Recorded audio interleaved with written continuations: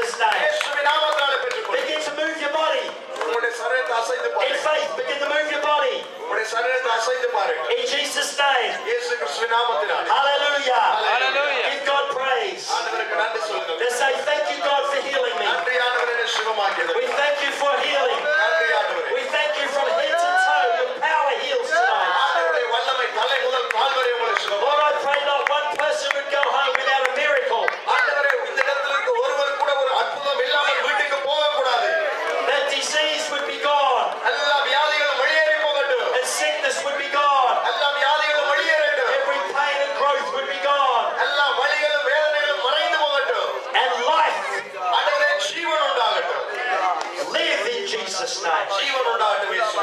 Thank you, Lord. And we give you all glory. We give you all the praise. Thank you, Lord. Now it's important that all you who receive Jesus tonight, you need to forsake uh, the things of your old uh, tradition. Listen, you can't serve both God and